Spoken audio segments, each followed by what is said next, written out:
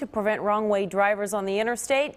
Yes, deputies are not playing around tonight. Fox 6's Jenna Sachs patrolled the interstate with a deputy tonight. She is live along Highway 43. Jenna, I know they're always paying attention, but they are really paying attention tonight.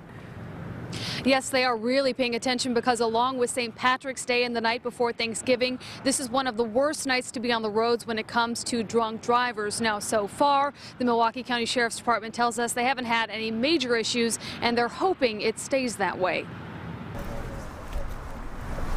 Drivers on I-94 are under the scrutinizing eye of Deputy Stephen Parr. You know, no one's saying you can't drink, but uh, you can't drive.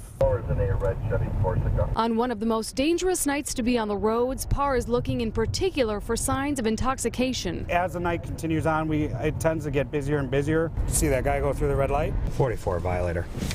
Parr pulls over this driver for running a red light. He's one of 33 deputies from Milwaukee County monitoring the freeway system this weekend. The whole freeway system will be blanketed with squads. Meanwhile, 55 officers from other law enforcement agencies watch the side streets. Earlier in the week, Sheriff David Clarke cautioned drivers not to drink and get behind the wheel this weekend. You're going to end up in jail, you're going to end up in a hospital, or you may end up in the morgue. It's really your choice. It was a drunk driving crash last New Year's Day that killed 34-year-old Corey Damsky. Deputies say drivers just don't seem to learn. I think it's frustrating that, that even with all the information that we have, that the public has uh, about drinking and driving, that people still choose to do it.